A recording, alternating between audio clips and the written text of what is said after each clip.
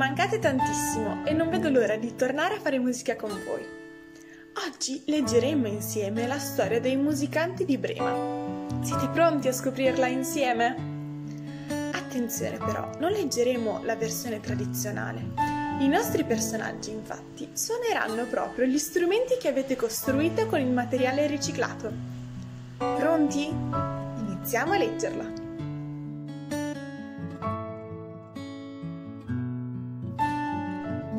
Una volta un vecchio asino che aveva lavorato sodo per tutta la vita. Ormai non era più capace di portare pesi e si stancava facilmente. Per questo il suo padrone aveva deciso di relegarlo in un angolo della stalla ad aspettare la morte. L'asino però non voleva trascorrere così gli ultimi anni della sua vita. Decise di andarsene a Brema, dove sperava di poter vivere facendo il musicista. Si era incamminato da poco quando incontrò un cane magro e ansante. Come mai hai il fiatone? gli chiese. Sono dovuto scappare in tutta fretta per salvare la pelle, gli rispose il cane. Il mio padrone voleva uccidermi perché ora sono vecchio e non gli servo più. Purtroppo è vero, continuò, non sono più capace di rincorrere la selvaggina come una volta e sono così debole che non spavento più nessuno. Ma ora come farò a procurarmi da mangiare? concluse depresso. Vieni a Brema con me, suggerì l'asino. Laggiù faremo fortuna con la musica. Io suonerò gli shaker.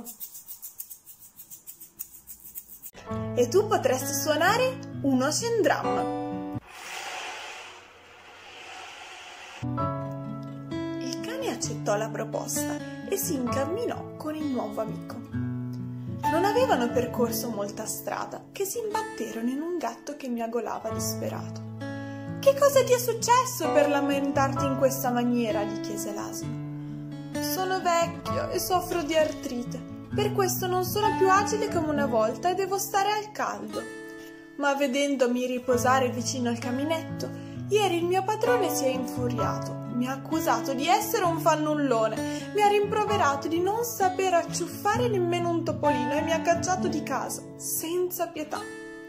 Pensare che l'ho servito fedelmente per tutta una vita.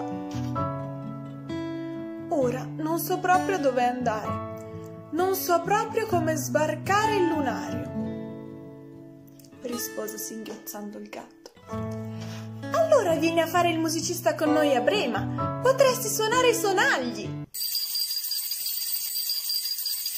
Gli dissero insieme l'asino e il cane. Il gatto non se lo fece ripetere due volte e pieno di speranza si unì a loro. Passando davanti a una fattoria, furono distratti da un gallo che schiamazzava rincorso da una massaia.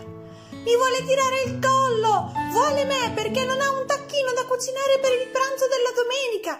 Mi vuole tirare il collo! urlava terrorizzato. I tre compari gli gridarono: Vieni con noi! Potresti cantare e suonare le maracas. Ebbero il tempo di aggiungere altro che appollaiato sulla schiena dell'asino, sentirono il gallo che li incitava. Corriamo, corriamo prima che il padrone mi acchiappi! Una corsa disperata fin nel folto bosco. Lì finalmente ripresero fiato. Ormai si era fatto buio e, si sa, di notte non è prudente viaggiare. Dovevano cercare qualcosa da mangiare e un bel posto per dormire, almeno per quella notte. Rifocillati e riposati, l'indomani sarebbero ripartiti per Brema. Fu allora che sentirono dei rumori. Nascosti tra i cespugli, si guardarono intorno. Videro una casa. Ecco dove arrivavano brusio, risate, mmm, profumo d'arrosto. Erano così stanchi e affamati, cercando di non fare rumore, si avvicinarono alla casa cautela, sempre senza farsi scorgere, guardarono all'interno attraverso la finestra. Non potevano credere ai loro occhi. In mezzo alla stanza c'era un tavolo colmo di buone cose, un tacchino ripieno, mortadelle invitanti, formaggi di tutti i tipi, pani d'ogni forma, torte stupende, frutta profumata. Potremmo chiedere ospitalità.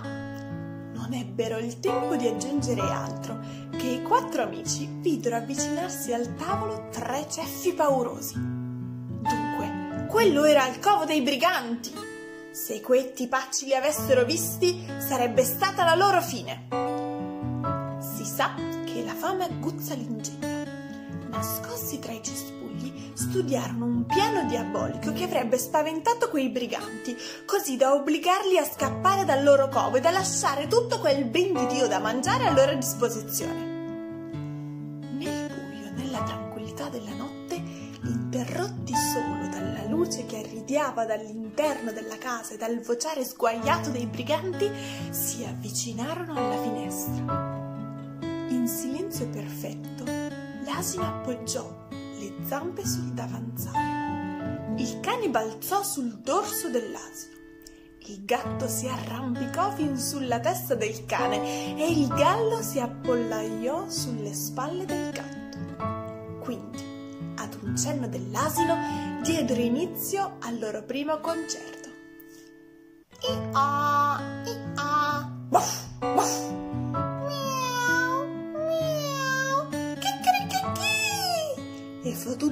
Tutto urragliare, abbaiare, miagolare, schiamazzare, un inferno!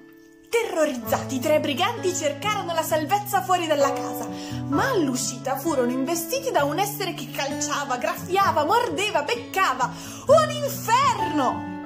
Scapparono per non tornare mai più in quel luogo maledetto. I quattro amici non ci pensarono due volte, si precipitarono all'interno della casa senza esitare, si sedettero intorno al tavolo e... Beh, credo siano ancora lì che mangiano, ridono, che ridono e mangiano. Lì era il paradiso. Allora, bambini, vi è piaciuta questa storia? Spero tanto di sì. E bravissimi! Ho sentito che suonavate questi strumenti davvero in maniera eccezionale. Complimenti! Allora vi saluto bimbi e a presto! Ciao!